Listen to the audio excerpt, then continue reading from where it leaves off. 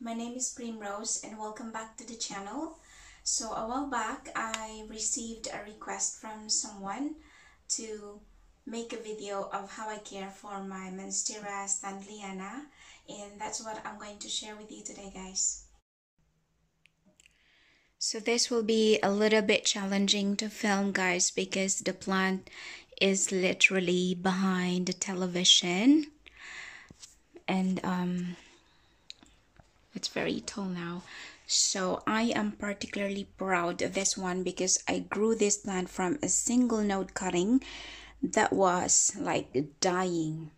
So a friend uh, gave this to me. She bought it off Etsy and uh, it was not in the best shape when I received it.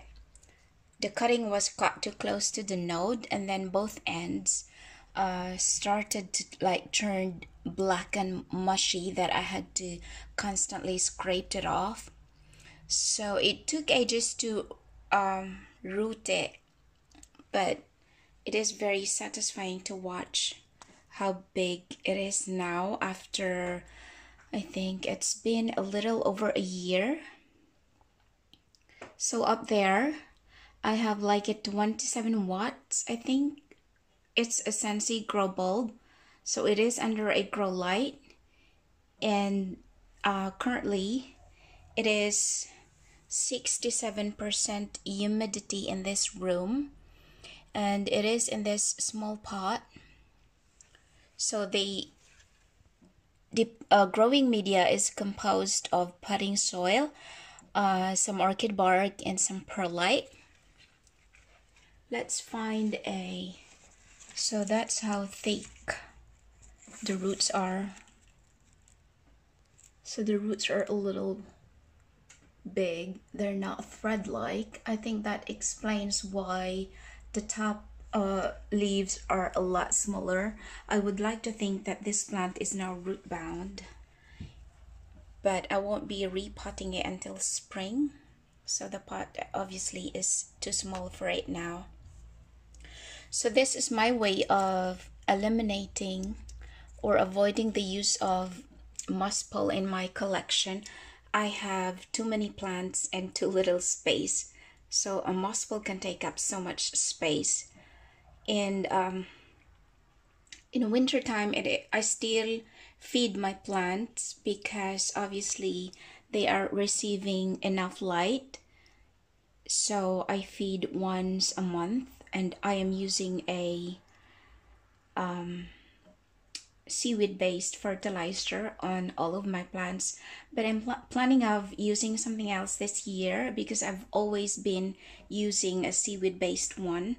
And some of the leaves are like half moon. It's got half moon variegation but not all of them. Some has like very slight uh, variegation just a slight splash of white there. But otherwise it's such a very easygoing plant. So the crisping up of the leaves here that's me that's my fault. Um, before pinning all of my plants here against the wall I went and gave all of them like a complete shower and my mistake was that I did not wait for the leaves to get dry before pinning them against the wall and I forgot to switch my fan on. so when it comes to wet leaves, this plant, especially the variegated por portion, it's very sensitive and I've noticed that uh, it doesn't want to, to the soil to get like completely or 100% dry uh, it would like right away show on the leaves. So I'm very observant when it comes to my care and then I observe how the plants react. So yeah definitely the crisping up of the leaves has gotten worse when I waited for the soil to like get 100% dry before topping up the water. But it's been um, corrected. And now the upper portion the variegation has uh, improved. They look a lot cleaner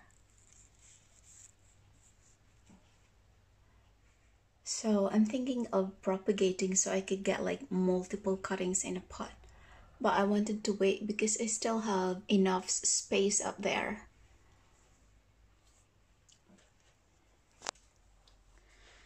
So what else uh,